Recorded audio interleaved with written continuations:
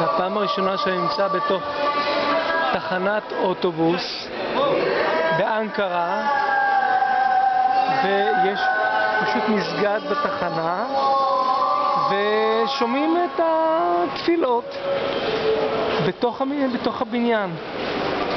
מדהים.